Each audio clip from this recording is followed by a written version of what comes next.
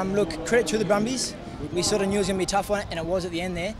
And we knew it was going to be an 80-minute game, and the boys really stuck in there and good defence in the end. So yeah, re- really proud of them. I'm re- really proud of the boys. They worked hard through the pre-season since, since November last year, and um, they really deserve it. But really, there's that one game we're looking forward to in two weeks. So yeah, definitely that's the goal we've had since, since November last year, and um, that's definitely what, what we're aiming to this week and next week. And um, yeah, really looking forward to the game.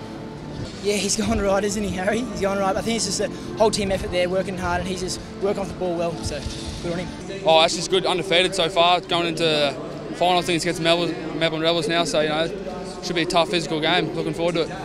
Yeah, no, I was pretty stoked with that actually. You know, just stayed in support and got the next to try. Oh, mate, I'd be stoked. I'd be probably the happiest person here. You know, like just working together so hard throughout the year, four or five months. You know, just good payoff.